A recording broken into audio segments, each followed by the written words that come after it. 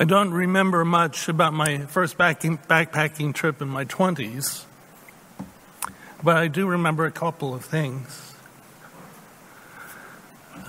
One was I packed an iron skillet,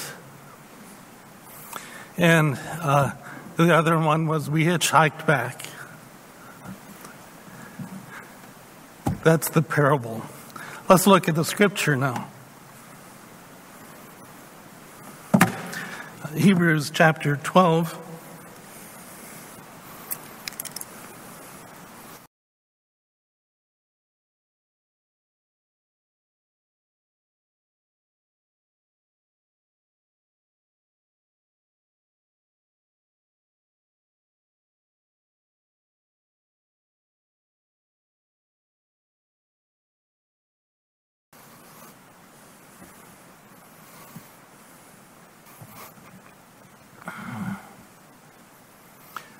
Hebrews chapter 12, verse 1 Therefore, since we are surrounded by so great a cloud of witnesses, let us lay aside every weight and the sin which clings so closely.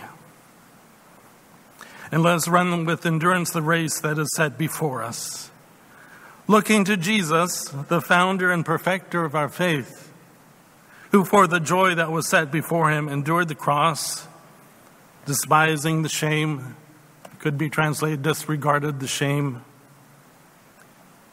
and is seated at the right hand of the throne of God.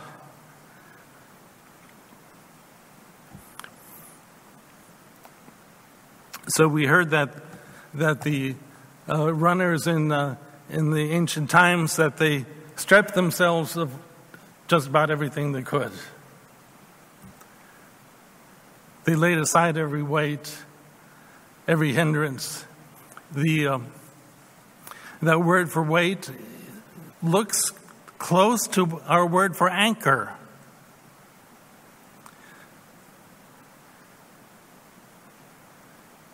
So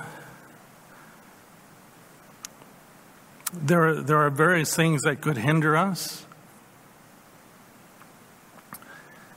And and you're right, I can barely see you out there. There are various things that hinder us. One of those, which may be a great spiritual danger for us, is the, is the uh, cares of this world, the deceitfulness of riches, possessions, things. And we want to lay aside as much as we can so that, that uh, we carry with us only, only what is, is necessary, only what will be helpful to us, and lay aside the rest. And in this passage, we lay, we lay things aside, we strip things off, and look to Jesus in uh, Colossians chapter 3,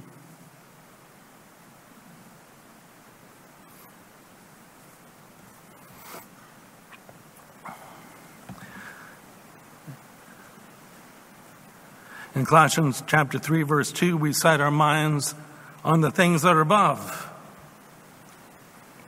And then we lay aside things. We put to death some things. We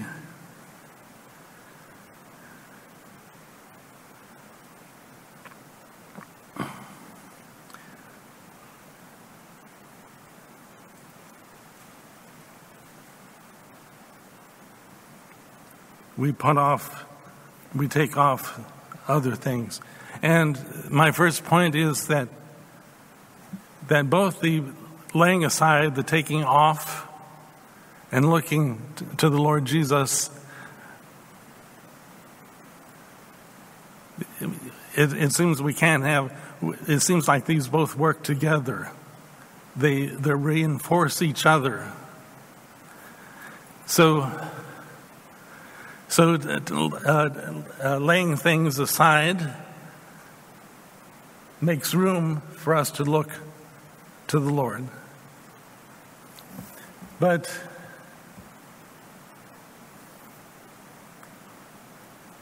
I think of that. I think of that hymn that talks about not the stripping of our idols with its bitter void and smart. That can just be painful. Who wants to do that?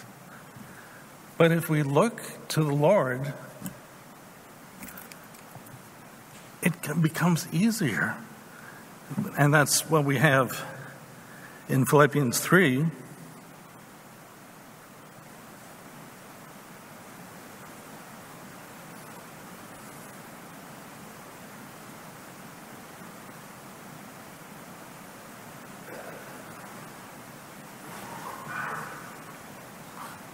Philippians 3, verse 7. Um, whatever gain I had, I counted as loss for the sake of Christ.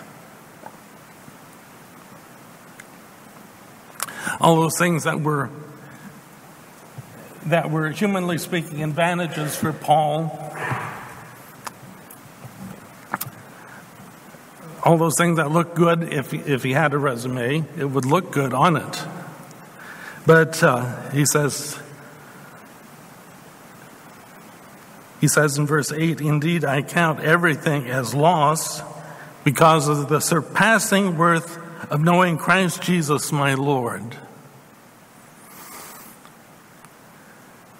For his sake, I have suffered the loss of all things but I don't think he regarded it as loss. He, he just he regarded it as as rubbish, and the word is actually stronger than that. I, and there would be very implied ways to say that word, but it would be it would be dung.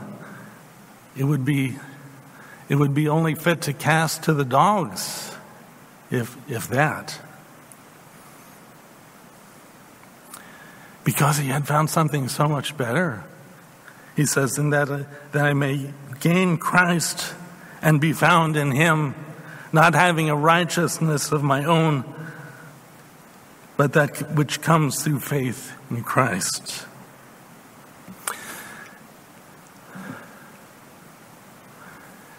So, so my first point was the putting away, the stripping off, and the looking to Christ may occur in either order. Either one may come first and they reinforce each other. My second point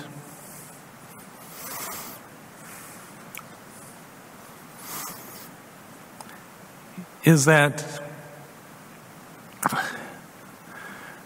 we may feel our little gatherings, at least two or three, but we may feel like there's nothing here to draw people in. There's no attraction.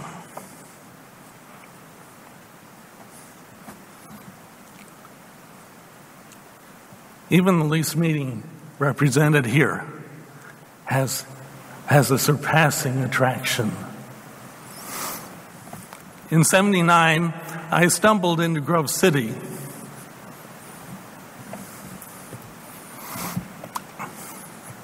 I, I had heard from Dan about how they meet, and it sounded a little weird. Um, and I and I even went to a, a, Wednesday night Bible study.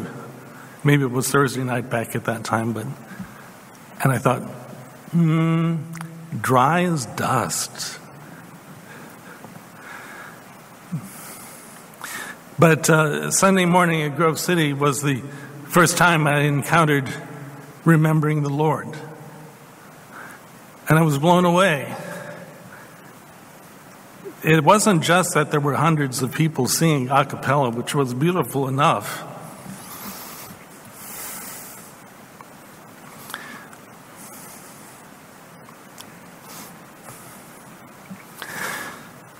But they sang, Thou art the everlasting Word, the Father's only Son.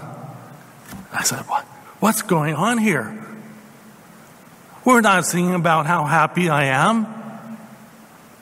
We're talking, we're talking to God. Nothing about us, solely about Him. Oh, that is the, that is the,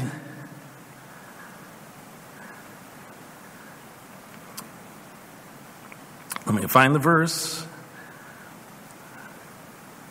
The surpassing value of the Lord Jesus.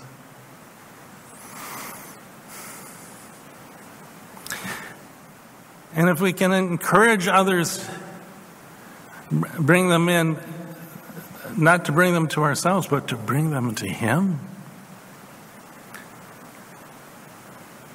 If possible, to help them to see Him.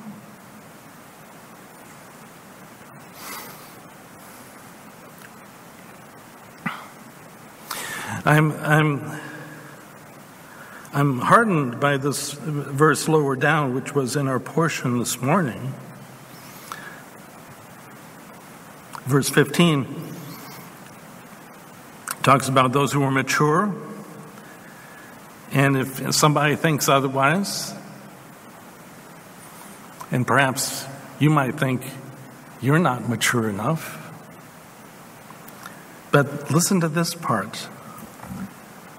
God will reveal that also to you.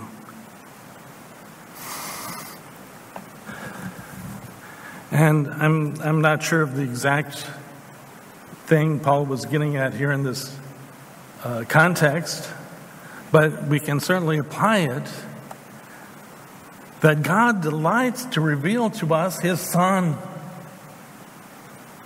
In fact, in fact, there's a divine person who's dedicated to that job, and he will do it.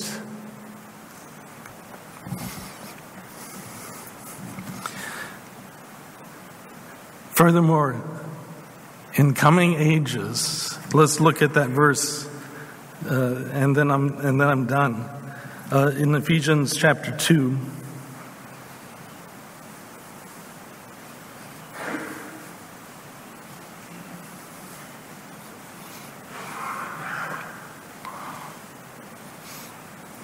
Ephesians 2, verse 7. So that in the coming ages he might show the immeasurable riches of his grace and kindness toward us in Christ Jesus.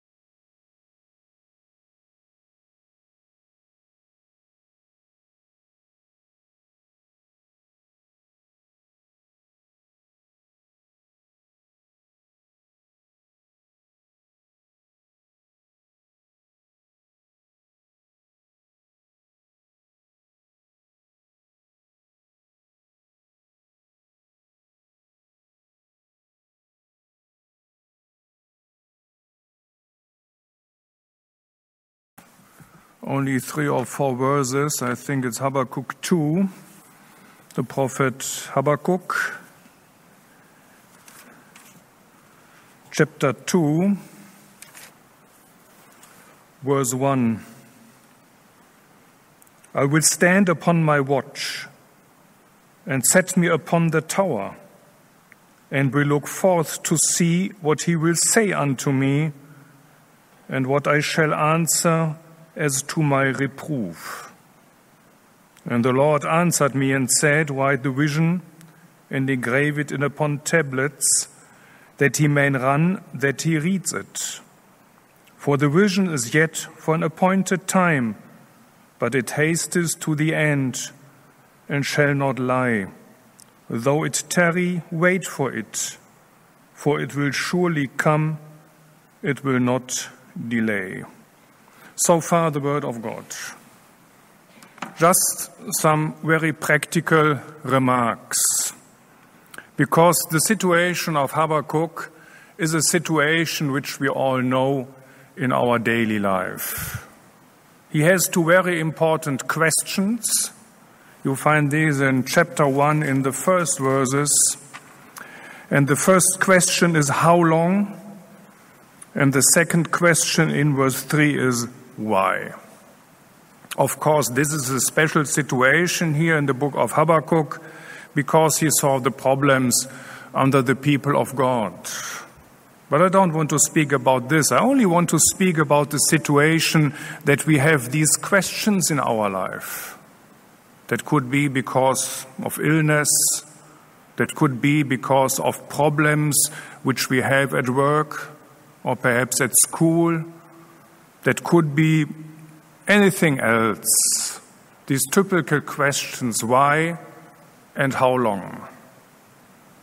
And it is very interesting what Habakkuk did.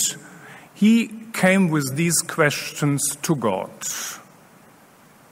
And he asked God why and how long.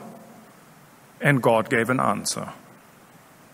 And the answer which God gave, that is also typical for our daily life. It is not in that way as we can read it sometimes in Christian books or in reports or wherever else, that I pray to God and 10 minutes later I have the answer. God is, not, God is not something like a machine. You put a prayer in it and you get the exact answer which you want to get.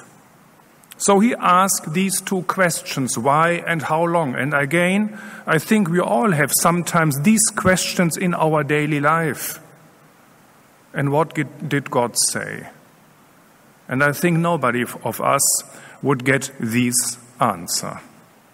Because God said in chapter 1, I know all of these problems. And if you want to get an answer, I will give you an answer. The situation will become worse. I think that is not an answer that somebody of us want to get if he prays to God. But that is sometimes the daily life. You have problems at work, you pray to God and the situation would not become better. Perhaps you have problems uh, under the believers, you pray to God, and the situation didn't become better. Or somebody is ill and he prays to God. Yeah, God is not a person who changed uh, immediately everything. He can do it, of course. But very often the situation um, becomes worse. And that is the situation which we have here in the prophet Habakkuk. And that again is very often the situation in my daily life. And what do I do now? And that is very interesting what Habakkuk did.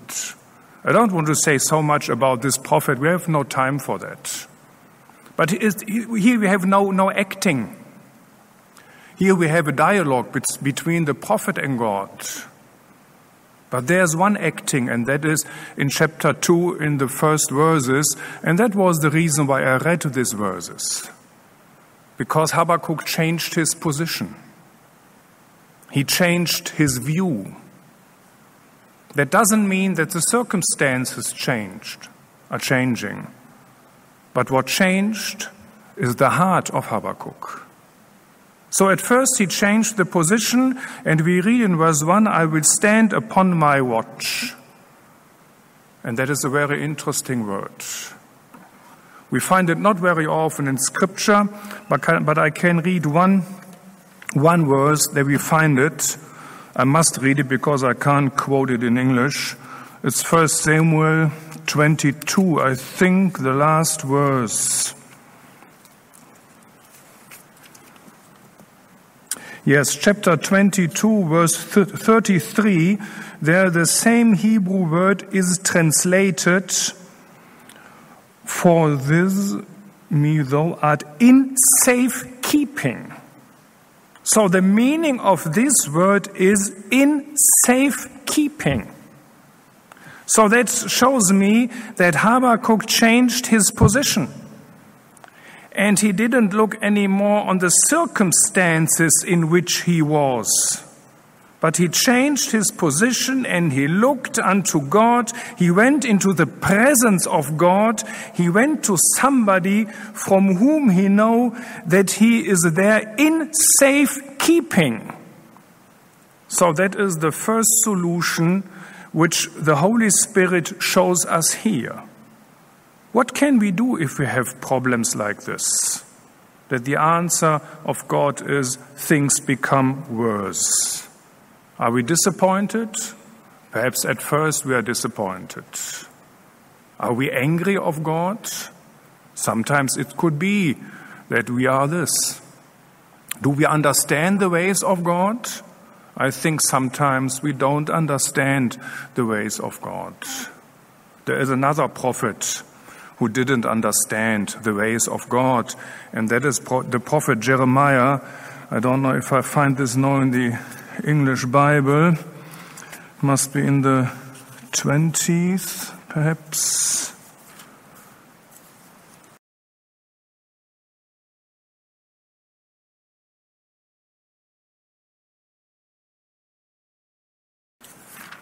Okay, it's not so important. Uh, but he has difficulties to understand the ways of God. And he asks God, Why must I go this way? Are you really righteous that I have to go this way? And that God answered him, I put the beloved in the hand of my enemies. And the beloved, of course, it is a picture of the Lord Jesus. But at first, it is not a picture of the Lord Jesus. At first, it is the picture of the people of God. At first, it is a picture of a believer of the people of God. So God not says, I know the problems in which a believer is, but he is, in my eye, eyes, somebody who I love.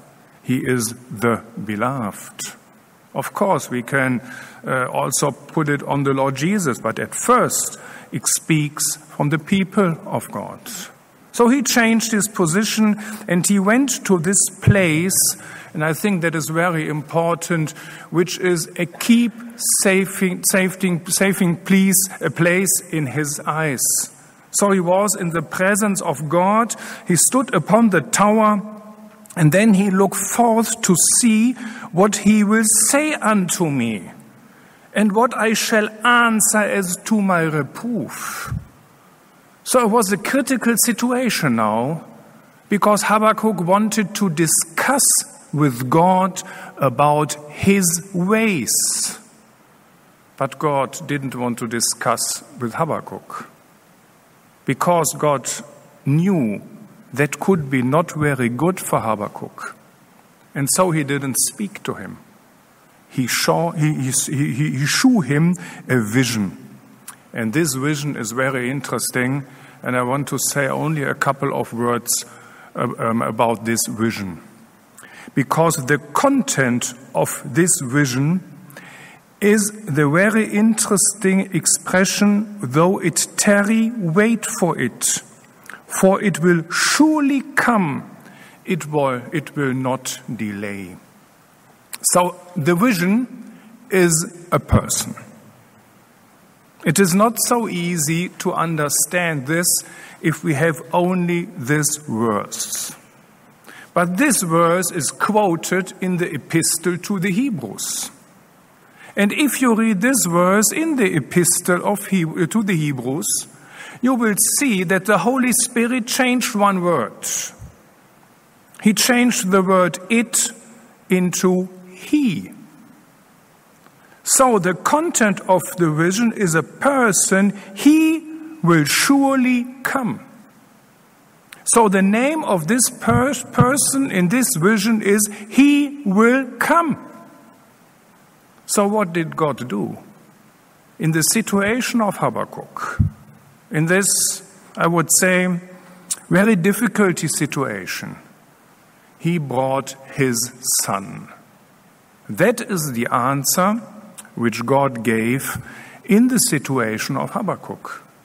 He didn't change the circumstances. The enemies will come. They are described in Habakkuk 1. And they are terrible people who God will send to judge his people. He will not change anything from the circumstances. But he put his son in the daily life of Habakkuk. And it is very interesting that we have this name a couple of times in the Old and New Testament. One example is Psalm 118. There we also have this name. It must be at the end of this psalm. Verse 26. Blessed be he that comes in the name of Jehovah. So here again we find the name of this person. The name is He will come. And there is one man in the New Testament who used this name twice. And that is John the Baptist. And we find it in Matthew. And it's easy to keep it in your mind because it's Matthew 3, verse 11 and 11 verse 3. I hope so. Yes. Matthew 3 verse 11, I indeed baptize you with water to repentance. But he that comes after me is mightier than I, whose sandals I am not fit to bear. So the only name of the Lord Jesus in this verse is He that comes. And again, when, when John the Baptist was imprisoned, he sent his disciples to the Lord Jesus in Matthew 11, verse 3, and they have only one name for the Lord Jesus, although the coming one so that shows us, and again we have the quotation, I think it's Hebrews 10 or 12, where this verse is quoted, it, so that it is absolutely clear. Here we have the name of the Lord Jesus. So in this situation, God put his son in the situation of Habakkuk. And he says another very important not, no, no, he didn't say a word, but there is a very interesting reaction in verse 2 that he may run that reads it. It is not so easy to understand. It could, the meaning could be that um, Habakkuk wrote this vision with very big letters on a piece of wood or on a clay tablet, I don't know. So that everybody who is passing very fast is able to read it. That could be one explanation of this Hebrew expression which you find in Habakkuk 2. But I think that is not the right one. I think there is a much more important interpretation, and that is when somebody reads this vision, he begins to run to put his life in the presence of God, to bring everything uh, in the, in the thoughts of God, which is not in the, which was not in the thoughts of God before. So this vision has an influence uh, on the hearts of the people who saw this, so that they can change or that they have to change their life and they have to do it very fast because the judgment stood in front of the door. What is the result in the life of Habakkuk after he got this very interesting vision?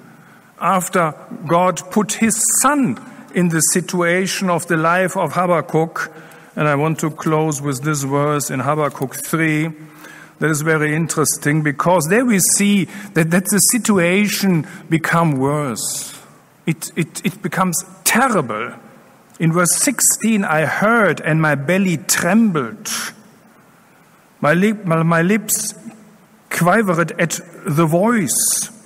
Rottenness entered into my bones and I trembled in my place. These are verses who show uh, the hopeless. But what is the situation in the heart of Habakkuk? That I might rest in the day of distress. You see, we have the prayer of Habakkuk. Why and how long? And we have the answer of God. Things become worse. But the position of Habakkuk changed. He put his face and his heart into the direction of God.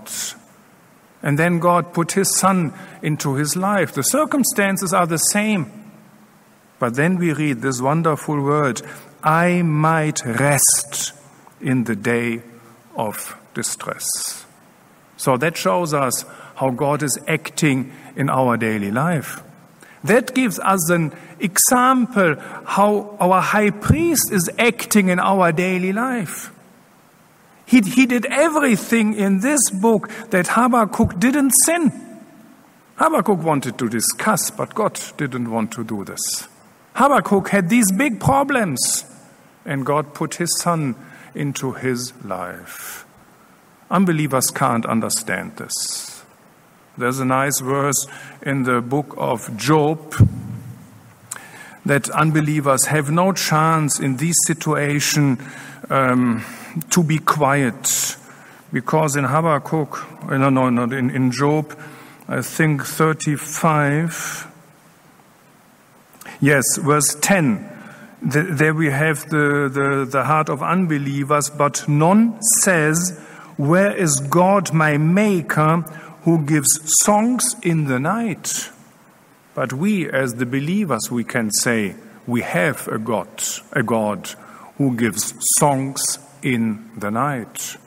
Also, if the situation is very difficult, perhaps if we have illness since a couple of years or decades and there's no hope, but it is possible that believers have um, songs in the night, not of their own power, but because they are connected with this person yeah, who went his way on this earth and who is now glorified and sitting on the right hand of God. He will not change all our circumstances. That is not what the epistle to the Hebrews is teaching us. But He will give us a quiet heart and He will come in our circumstances by Himself. So we have not to go our way for ourselves. The Lord Jesus is going with us.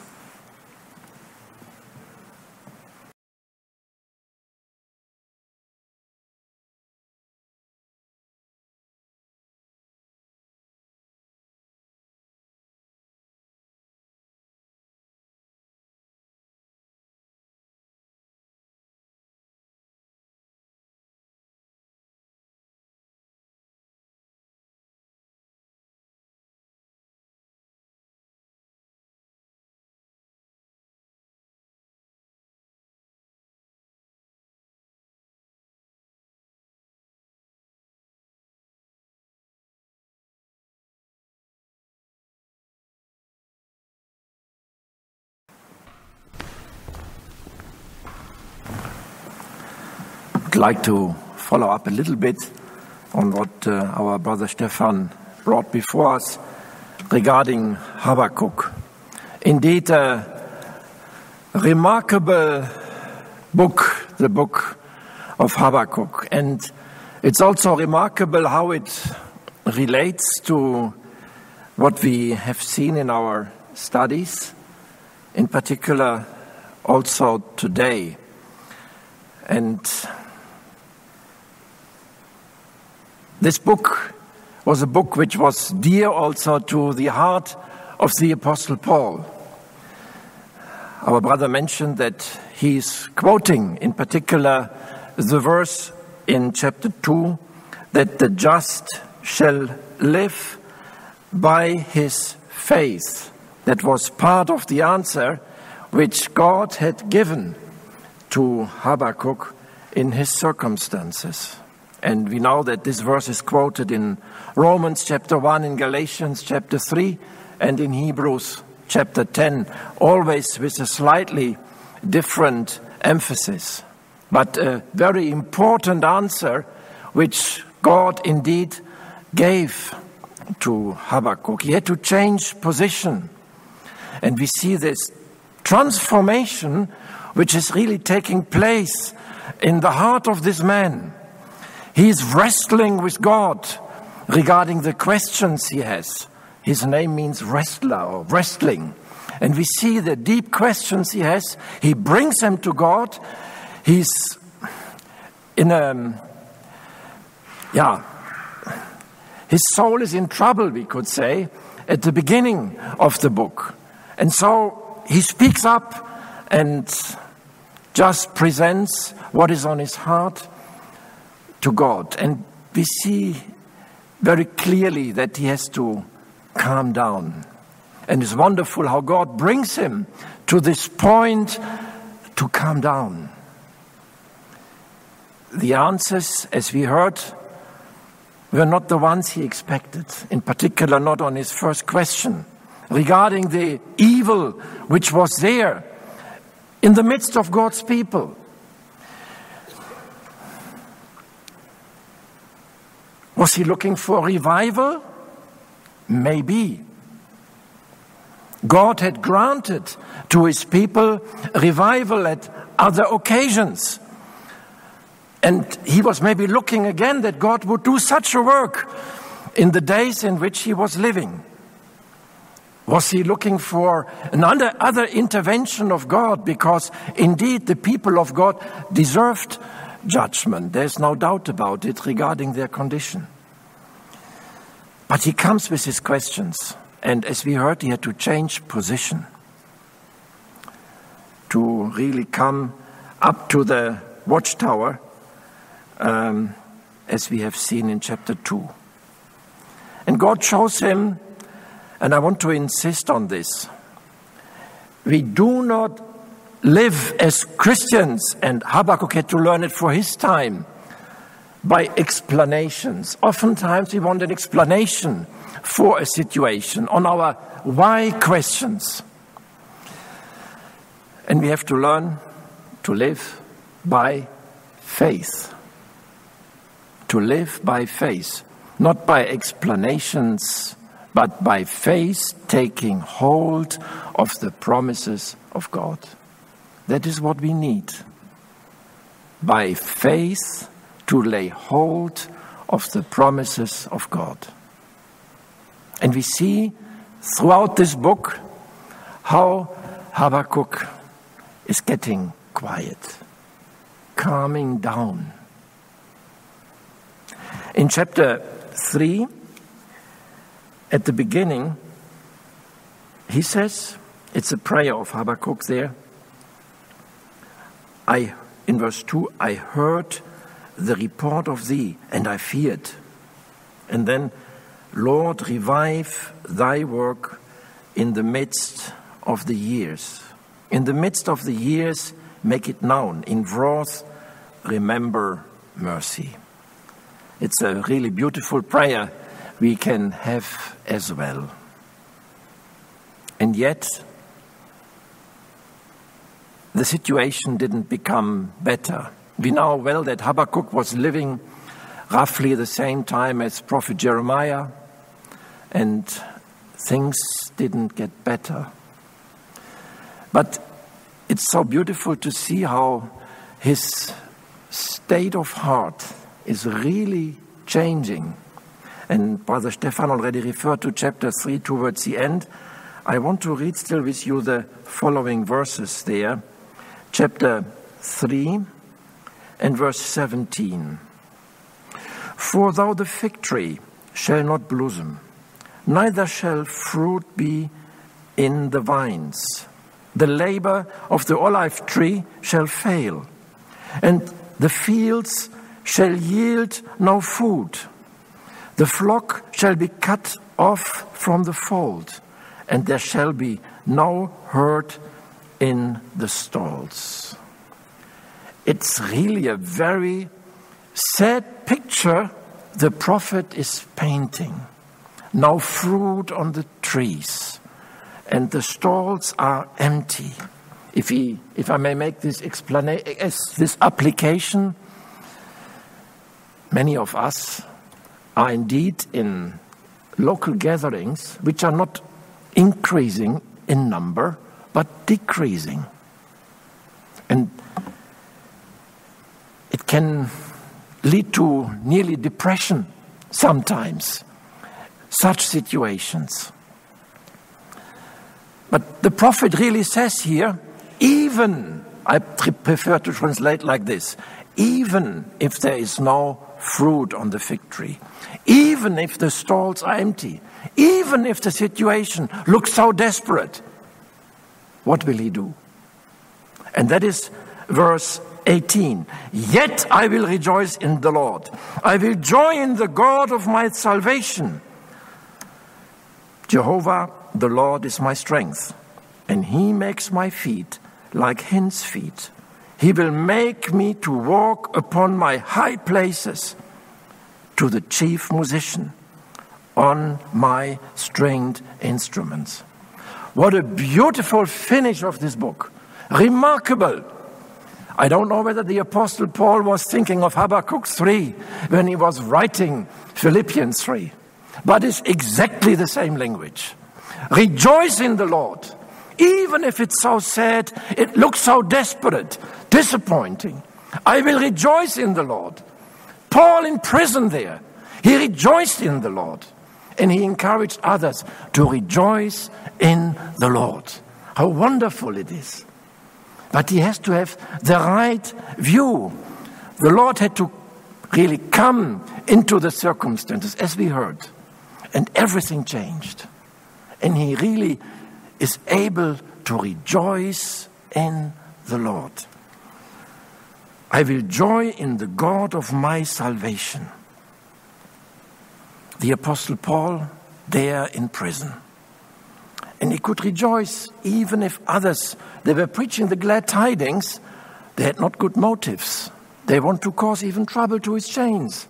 But he rejoiced the glad tidings are preached.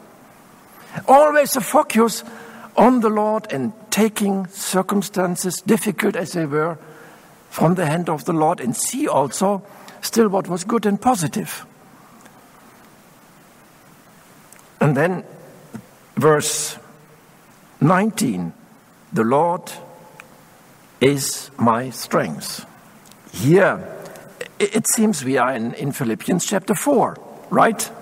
Philippians chapter 4, we read in verse 13 I have strength for all things in him that gives me power. Yes, we see there that living in such a way with the Lord, the focus on the Lord. There's joy in the heart, there's energy there, there is strength to move forward, to pursue towards the mark. And it says, and now I'm back in Philippians 3 towards the mark or the goal for the prize of the calling on high of God in Christ Jesus. We go back to Habakkuk chapter 3. He makes my feet like hinds feet. He will make me walk, he will make me to walk on my high places. You see the relation. The calling on high, not just a high calling, but a calling on high, a heavenly calling. This is what we have a calling on high. where our Lord is already. He has called us. And indeed, we want to run the race up to the finish line, which is indeed soon reached. The Lord is coming very soon. And until that moment, let us run the race, but really having Christ in view, Christ in glory, and run forward, pursue the course towards the mark, the high calling in of God in Christ Jesus.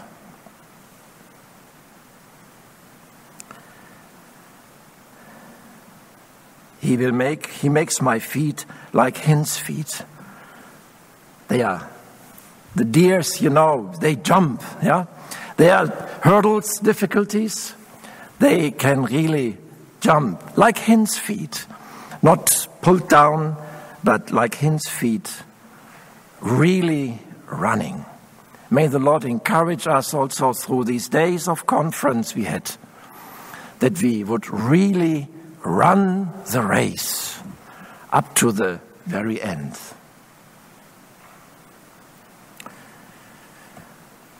To the chief musician on my stringed instruments. What do you have here? There's a song in the heart. A wrestling prophet at the beginning. All questions he has.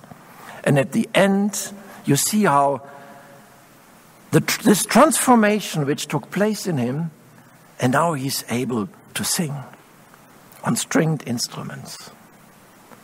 That is what God desires as well with us.